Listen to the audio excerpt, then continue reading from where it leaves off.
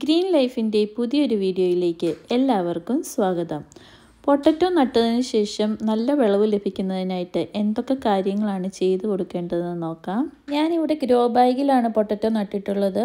Potato മുളച്ച് തുടങ്ങുമ്പോൾ തൊട്ട് നമുക്ക് മണ്ണ് കൂട്ടി കൊടുക്കാവുന്നതാണ്. മുളച്ച് രണ്ടാഴ്ച കഴിഞ്ഞതിന് ശേഷം നമുക്ക് വീണ്ടും വളം ചെയ്ത് കൊടുക്കാം.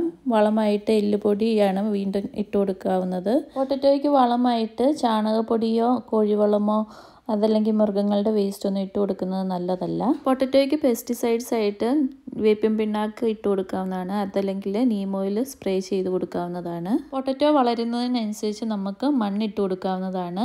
ഗ്രോ ബാഗിന്റെ മടക്കി വെച്ചിരിക്കുന്ന ഭാഗം ഇതുപോലെ പതുക്കെ നിവർത്തിയതിന് ശേഷം നമുക്ക് പൊട്ടറ്റോയുടെ തണ്ട് സൈഡിലേക്ക് മാറ്റി പിടിച്ച് ഒരു സൈഡിൽ കൂടെ മണ്ണിട്ട് കൊടുത്ത് അതിന്റെ ചുറ്റും ആക്കിയെടുക്കാവുന്നതാണ്. മണ്ണിട്ട് കൊടുക്കുന്ന സമയത്ത് പൊട്ടറ്റോയുടെ തണ്ട് ഒടിഞ്ഞു പോകുന്നതിനുള്ള സാധ്യതയുണ്ട്.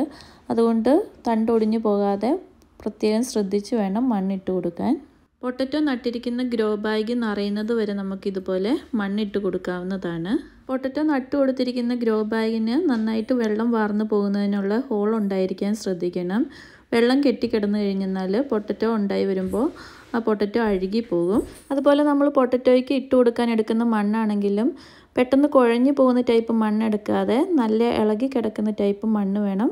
പൊട്ടറ്റോയ്ക്ക് ഇട്ട് കൊടുക്കാനായിട്ട് എടുക്കാൻ. ഇതുപോലെ പൊട്ടറ്റോയ്ക്ക് വീണ്ടും മണ്ണിട്ട് കൊടുത്ത് പൊക്കിയെടുക്കുന്നതിനെ ഹില്ലിംഗ് ചെയ്യുക എന്നാണ് പറയുന്നത്. പൊട്ടറ്റോ ധാരാളം വെള്ളം ഇഷ്ടപ്പെടുന്ന ചെടിയാണ്. അതുകൊണ്ട് തന്നെ ദിവസം രണ്ട് നേരം നല്ല വെയിലുള്ള സമയത്ത് നനച്ചു കൊടുക്കണം.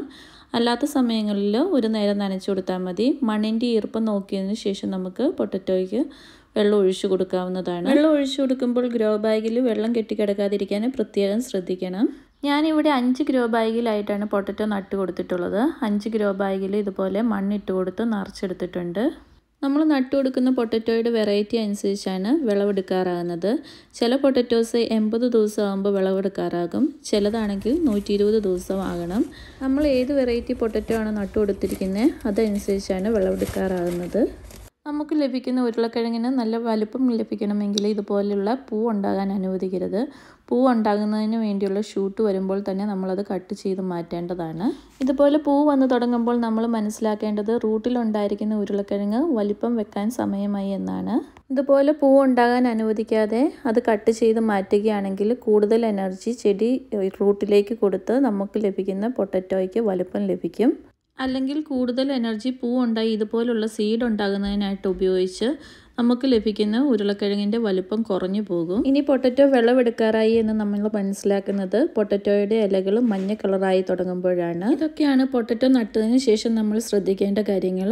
പൊട്ടറ്റോ എങ്ങനെയാണ് നടേണ്ടത് എന്നുള്ള വീഡിയോ ഞാൻ ചെയ്തിട്ടുണ്ട്. അത് കാണാത്തവർക്ക് കാണുന്നതിനായിട്ട് ഐ ബട്ടണിൽ അല്ലെങ്കിൽ ഡിസ്ക്രിപ്ഷൻ ബോക്സിലൊക്കെ ആയിട്ട് ഇട്ടേക്കാം. വീഡിയോ ഇഷ്ടമാവുകയാണെങ്കിൽ ലൈക്ക് ചെയ്യാനും ഷെയർ ചെയ്യാനും സബ്സ്ക്രൈബ് ചെയ്യാനും മറക്കരുത്. വീണ്ടും നല്ലൊരു വീഡിയോയുമായി വരുന്നതായിരിക്കും. Take care bye